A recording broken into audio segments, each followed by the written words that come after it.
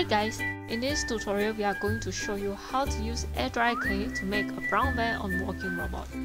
To start, use a dark brown color and flatten it with a roller.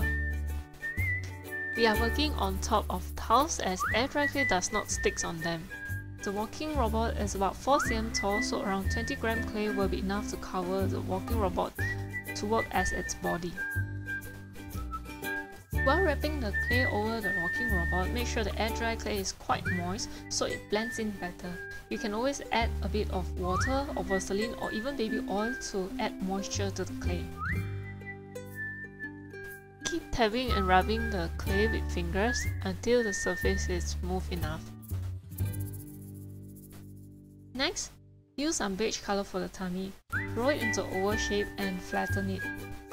This is a U-shaped transparent acrylic board, easy to rub and flatten clay into perfect shapes.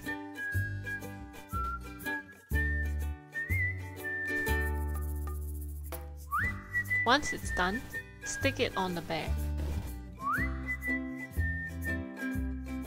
With a small size dotting tool, make a hole for the stomach.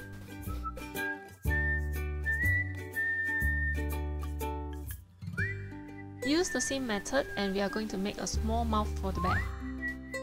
Indent it with tool and you can make a smiling bear.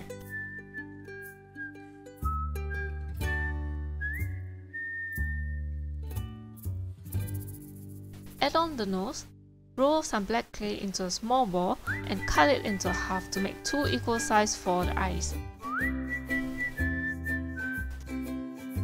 Be patient, it's always a bit tricky to get two equal same size.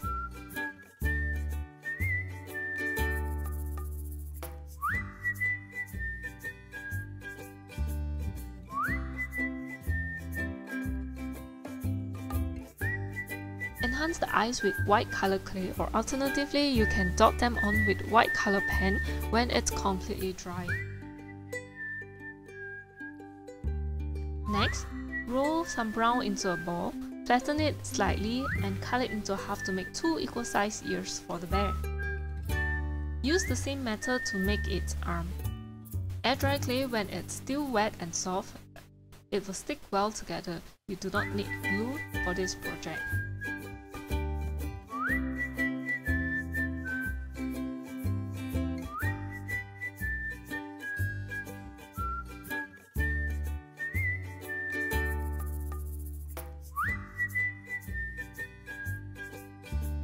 Once it's done, leave it for 2 days to dry completely and you will now have your very own customized walking toy bear.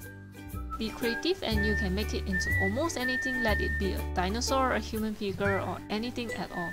Feel free to share with us your creations on our Facebook page. Enjoy playing and bye bye!